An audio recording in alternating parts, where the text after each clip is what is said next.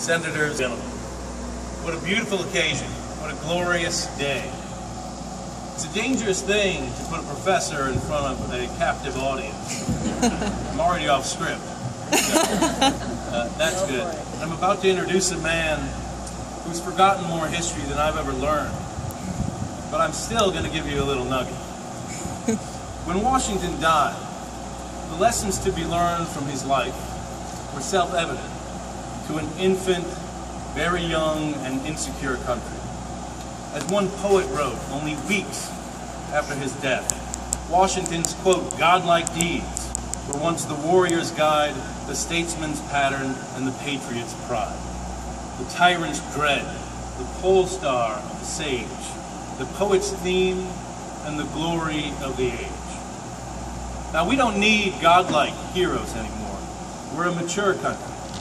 But we may need to be inspired by human beings, flawed men and women, just like ourselves, who lived through complicated times, revolutionary times, and didn't know what would happen next week and next year. But nevertheless worked for improvement, worked to leave the world a better place than they found it. For a big cause, for the public good. Today I have the great honor and pleasure of introducing a historian, perhaps better than any other, has been able to draw out the humanity from the marble busts and the false caricatures of our past. He famously believes that history is not the story of events, but the story of people. And very few people have told these stories as well as David McCullough. From the Johnstown flood to the Panama Canal from John Adams to Teddy Roosevelt and Harry Truman, David McCullough has reminded us all just how foolish and how great we can be. As an author and as a public figure, he has achieved the highest honors.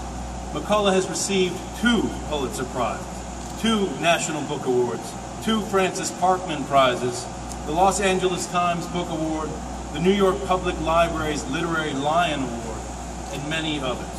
In 2006, he received the Presidential Medal of Freedom, the highest civilian award that a U.S. citizen can achieve.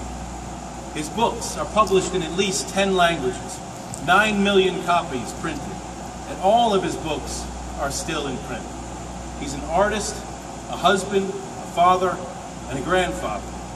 If there'd never been a George Washington, we probably have to call him Sir David McCullough.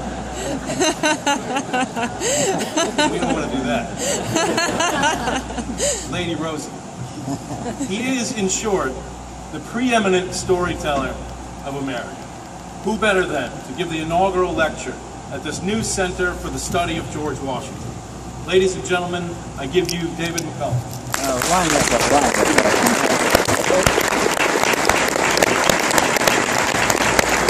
Very, very 现ชื่อว่